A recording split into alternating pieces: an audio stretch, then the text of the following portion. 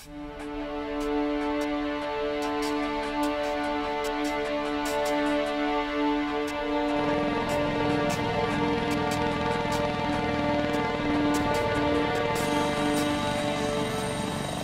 Warfighters. War is Hell. Welcome to the next episode in the series where we're taking a look at what could have happened had there been a second Korean War. The two factions that exist right now in North Korea following the death of Kim Jong un and Kim Jong il are about to go at each other for the very first time. But before we get too deep into why, let's go ahead and hit the briefing. So, in the last episode, this is where we saw the lines were drawn at. There'd been some progress by South Korea, the United States, and their allies, but even more progress had been made due to the shortage of supplies that exist in North Korea, and it doesn't look like things are going to be changing anytime soon. Now, back here in Cheorwon, there's been a general who has sworn allegiance to the hardliners that hope to continue what Kim Jong un and Kim Jong il were doing. I'll be playing as the reformers who don't think that that was an acceptable choice to make. So what we're going to be doing is eliminating him to try and send a message to everybody else. What we're going to do is we're going to capture this North Korean position that's part of uh, the route that brings supplies down to the front. Once we take it out, we're going to set up an ambush of a convoy that we'll then use uh, to be able to kill this general. And you'll see how we do it here in a little bit. Now, the hardliners, of course, they're the ones who are really having the major supply issues However, those who are for reform are backed by the Chinese government. They've been supplying weapons, ammunition, food, just about everything uh, they can to those who have uh, sworn loyalty to those who want reformation. Now, China wants to exert as much influence in North Korea as possible and is really looking for an opportunity here uh, to really be able to control what happens from here on out and to really be the uh, real winners uh, should things continue on this way.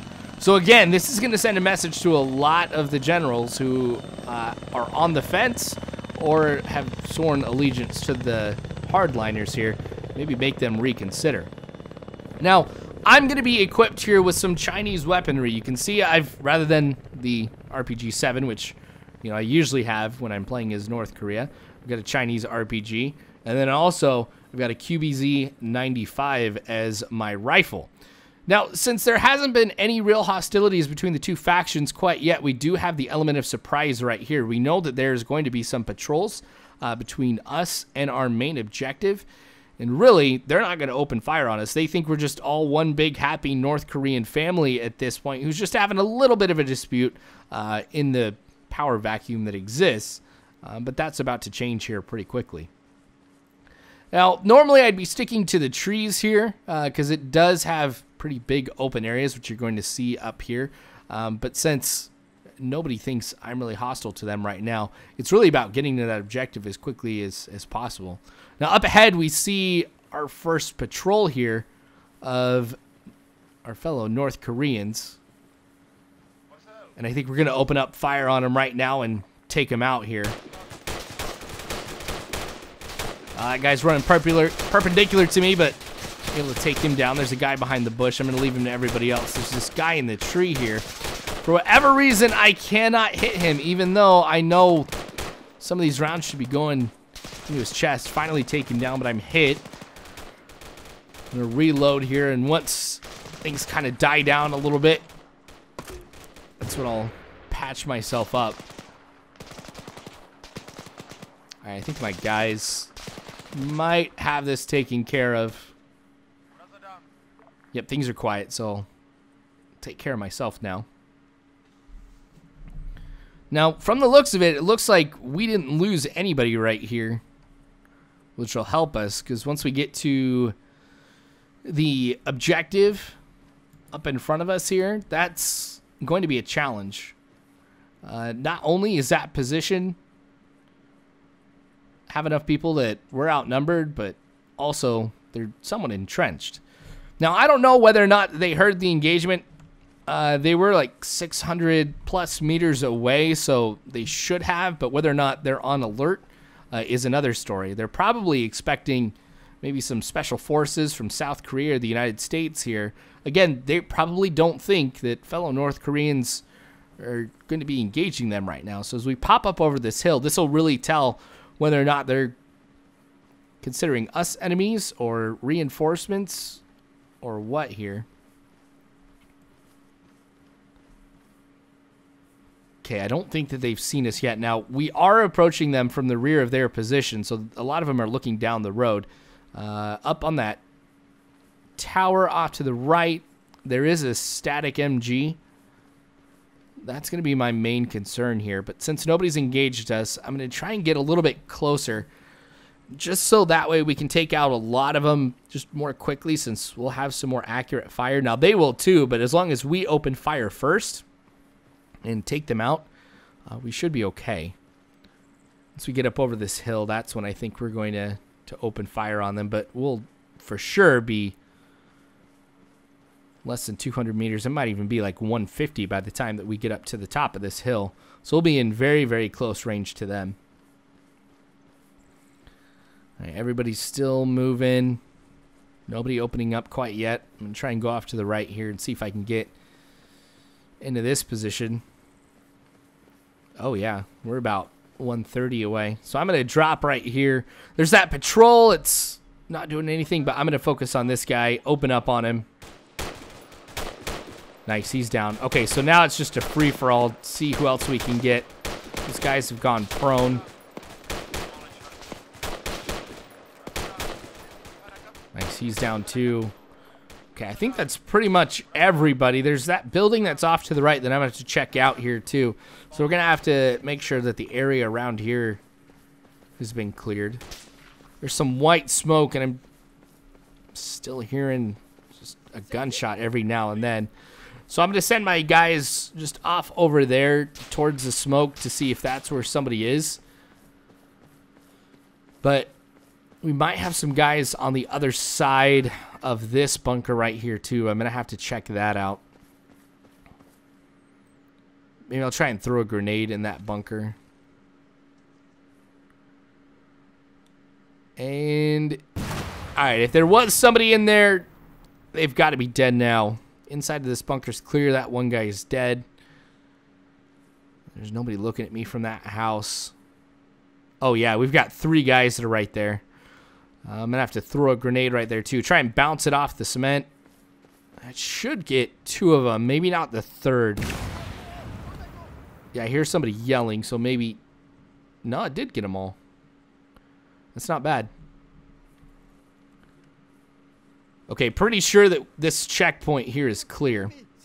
Now, down the road, there's like a little farmhouse. We've got this damaged structure right here where it looks like there's one guy who's standing in the doorway that's been killed. I wonder if there's anybody else here. So I'm going to... Oh, yep. There's another person that's dead. Try and flank around here to the right. This window. Oh, there's somebody in there. Dang it. Alright, just gotta keep going around. I think I got him in the hip. Oh, I think there's another guy. I saw an RPG. Nice, he's dead too. Now, this is a pretty small house, so take a look through here. Yeah, we've got it cleared. The farmhouse up ahead really is the only other thing that I might have to clear in this vicinity. There's no windows or anything on it that I can see on the lowest level. There's these large doors, though, that I'm going to have to try and look in. See what I can find. Okay, so I'm just going to go ahead and throw a grenade in there. There is anybody. Yep, there's somebody at the door. Okay, so he's been killed. Two, three. Ah, there might be one more. Just peek around. Yep. All right. Uh, I've got a few more grenades here, so I could just try and bounce it off of that back wall. Yeah, that should be pretty good. Should be close enough. Once it goes off, let's check and see. Yep, that guy's dead too. Go in here. Sweet. All right, so I'm going to regroup with my guys. What we're going to do now is we're going to clear out all the bodies here from uh, this location because we want to make sure that this convoy that's coming down through this checkpoint, uh, once again, thinks we're all big one happy North Korean families. So if they see dead North Koreans out here, uh, surely they're going to have second thoughts about what's going on. Now, we don't know necessarily the size of the convoy. We've been keeping in touch with them periodically just to kind of know when they're going to arrive, which really should be any minute now.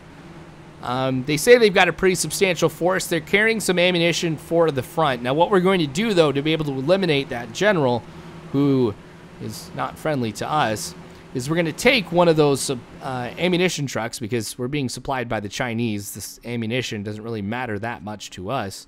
Uh, and we're going to go to this compound where the general is at. We're going to blow it up. We're going to kill him that way. So we see the headlights of the convoy coming down here. It looks like that there's an officer who's kind of leading everything in his vehicle behind it. A troop truck. Okay, so there's going to be two of them here. Means we're outnumbered. Great, an APC. It's that BTR we're going to have to eliminate. Looks like there's more. Dang, this is a big convoy. So the officer's gotten out. Um, I've actually dropped a lot of my Chinese gear except for my rifle. I mean, that shouldn't alert them too much here um, because they know that China's been supplying some of us here with some extra weapons. But I don't want to alert him that much at all. Okay, so the officer's trying to figure out exactly why we haven't opened up the gate for him. Uh, now, I'm just going to do a quick inspection here because, one, I want to make sure that there is ammunition. I want to see exactly what's in this convoy before we open fire on them. You know, I'm not going to be an idiot about this. If there's another way for us to be able to take out that general, and this ends up being too risky, it what might or that might be what we have to end up doing. Okay, so there really wasn't too many people here in that vehicle at the front of the convoy. There's about a squad in this truck. Wouldn't be surprised if we we see the same thing there too in this next one. But again, that BTR is what worries me. Now, remember, I do have that RPG.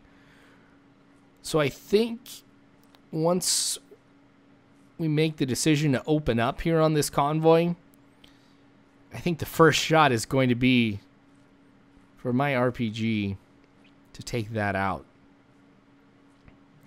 Uh, if I can take that out, that eliminates all of their armor, eliminates the guys who are on top, guys who are possibly inside. Should make this somewhat of an even even fight. Now, even though we're outnumbered by quite a lot here, maybe four or five to one, uh, there's still choke points on each of these vehicles. They're going to have to get out from the back. Once they get out, you know, we can be taking them out one at a time. So we'll be able to go through these guys hopefully pretty quick. Okay, so here's an ammo truck. Now, this is the real reason why I'm out here right now is I do want to verify that there is actual ammunition that we'll be able to use. And there is.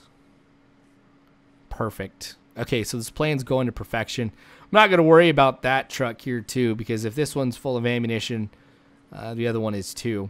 I'm going to walk back though. Again, I don't want to really make anybody be concerned about what's going on. But yeah, as long as I can get one of those trucks, I'll be fine. Be able to move on to the objective here. Now, just a little bit, all these North Korean soldiers hopefully will be dead. It's weird that we're having to engage our own guys. But these guys are just part of the wrong side right now. Just in the wrong place at the wrong time. Nothing more than that. All right, once I get back to the bunker, though, I'm going to re-equip some of my stuff here, too. Not only do I have that RPG, but I also have uh, some Chinese night vision, too which should be able to help me here quite a bit. Uh, it'll give uh, us the advantage here, or at least me the advantage, because it's obvious that these guys do not have night vision, or at least they haven't equipped it right now. But then again, they don't think they're in a hostile area right now. The officer up front still talking. which is good. We've been able to hold him here for this long and really haven't spooked him. Because he could give his guys the orders to get out right now. Start engaging us or something like that if he was really worried. But we did a good job cleaning up the bodies. Doesn't know that any fight happened here. I mean, we've had plenty of time, too, to be able to get everything cleaned up. And I guess it does help, too, that it's at night. So if there was anything, he'd be able to see. It'd be a lot harder for him to spot. Okay, I'm going to get up in that same position that I was before here. Having cleared this convoy. If I can get up this ladder. There we go. Yeah, having cleared this convoy, they should be able to move any minute now. But here we go. I'm going to grab this, my night vision, and then also my anti-tank weapon here. Right, this is going to be somewhat of a tough shot because I'm not going to be trying to hit the side, but the front of it. Got to aim this one just right. All right, here we go. All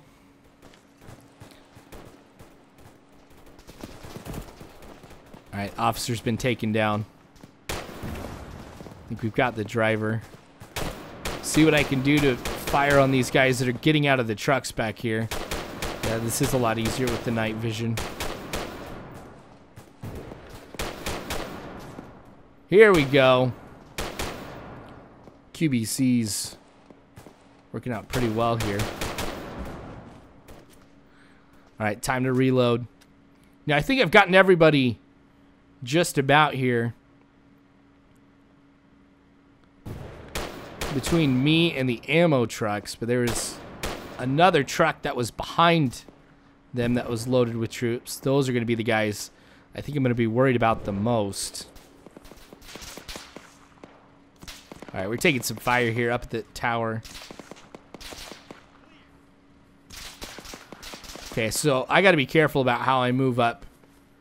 I'm going to use some of these vehicles here for cover. Maybe get a better view on what's what's going on. Yeah, there's a guy who's up there at the tree. There we go, got him. I thought I saw a tree fall too. I'm wondering if one of the ammo vehicles... Yep, there's a guy who's up there too. Be tough to see him through the smoke. I'm not going to stay out there in the open. Yeah, it looked like the ammo trucks were on the move. There's really not too many places for them to go except back. I'm going to push up here to these logs. This should provide me some cover. Okay, so we've got one of the trucks here just right up ahead of me. Oh, they're trying to flank off to the right. Right, that guy's down. Now, we also had some of my guys here off over to the right, too. So they've kind of been helping out. There's somebody on the road right in front of us. He's down. Yeah, I'm kind of pinned at this location. There's really not too many places that I can go. Trying to look up the hill. See if anybody's just trying to escape. Have gotten a lot more quiet. I don't know if there's anybody else off to the right. Oh, there's somebody crossing the road. Where did he go, though? Poke my head out just a little bit. I start a pretty big firefight. Okay, there he is. He's under underneath the there's him. He's down. I saw another guy underneath one of those trees. Yeah, there he is. Nice, he's down too. I'll reload. Somebody else out here. Oh, there he is.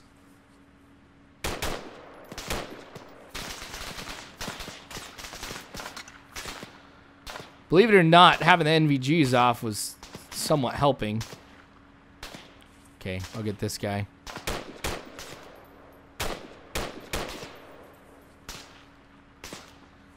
There's got to be at least one more guy. It sounds like there might be some more fire. I might just try and make a rush, though, here for that ammo truck. Then I'll head out of here. Yeah, because it's pretty quiet now. We've taken a lot of these guys out.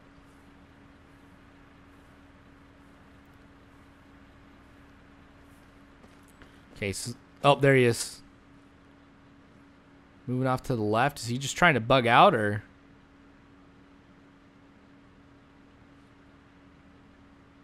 Yep, I think he is. Dang it.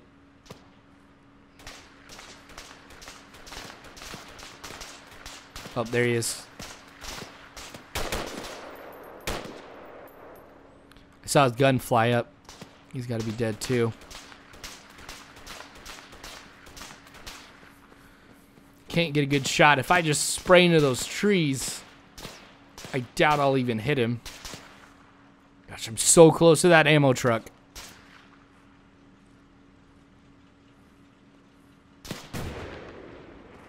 Cool, that made me think twice.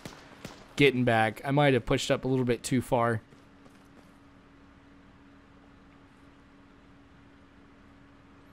Dang it, that ammo truck on the left looks like it's been pretty badly damaged.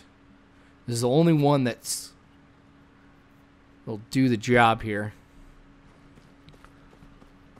Get back behind these logs and start pushing more to the right. Oh, there he is. There he was. Is that smoke from that ammo truck? All right, I'm making the push now. Try and go quickly as I can to it. Hop in and get out of here because I don't know if there is anybody else that's back here. There's any time I'm going to get hit is when I try to get in the driver's seat because there's not that much cover over here.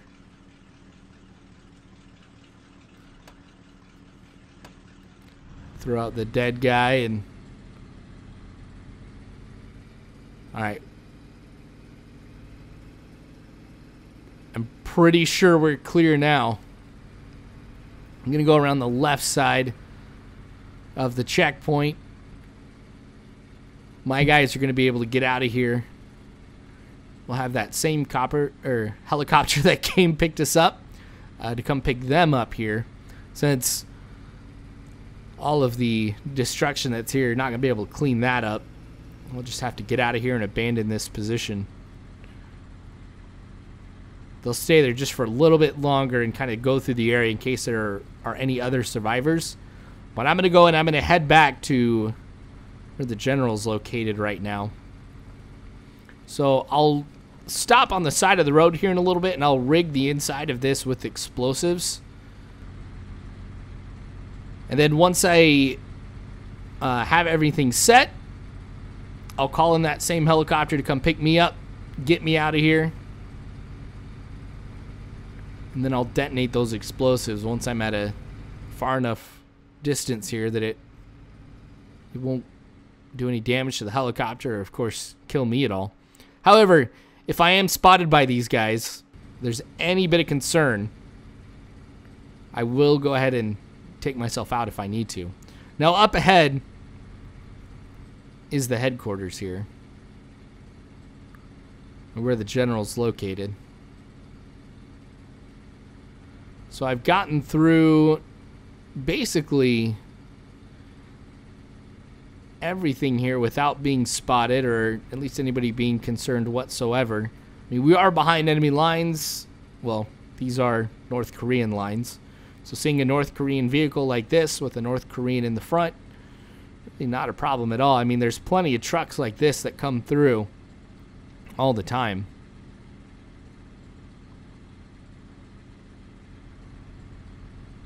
Okay, so I'll just enter the base here. And then there's one building in particular. It's the one that's off to the farthest right. We know that's where he works. That's where he sleeps. That's where he should be. So I'm going to park this truck right up next to it. And I'll try and get out of there. Now, you see, you might have been able to see how well defended this position is. There's no way I'd be able to fight my way out of this. I've got guard posts with guards in the top of each of these bunkers. There's a whole bunch of guys guarding the general right out front of the base. Uh, at the entrance, there's some North Koreans too. Okay, so I'm just going to park right here. I feel like that's pretty close to the building.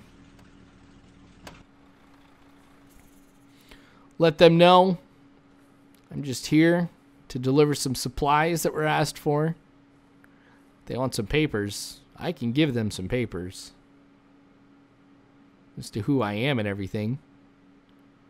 Because chances are these guys, at least a lot of them, aren't going to be able to live to tell the tale of what happened. Now, the problem is finding a place to be able to radio in for pickup. So I'm going to go behind this building here. And then what I'll do is I'll call the helicopter in. Now, a North Korean helicopter with North Korean markings, everything should be able to land here, pick me up. I get out. There'll probably be some confusion. But again, they got no reason to worry right now. All right, made the call. Here it is coming in. Should be landing in just a little bit. So I'll kind of head back out here to where I know it's going to be landing. Can already hear it in the distance. Get in it quick. Get out of here as fast as I can too.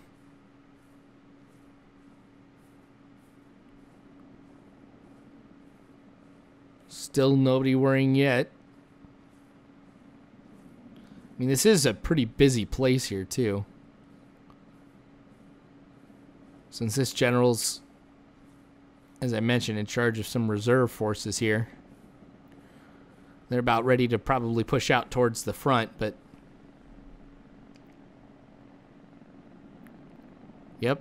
Not seen any reaction from anybody yet about an incoming helicopter.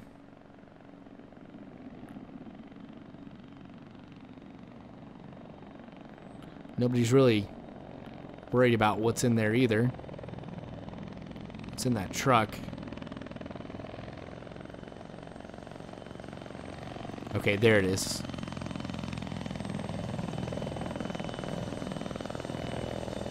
Alright, so it's on the ground. Get in it. I think I gotta get on the other side of this, though. Okay, if I get out of here, this will be a successful mission. We didn't lose too many of our guys either.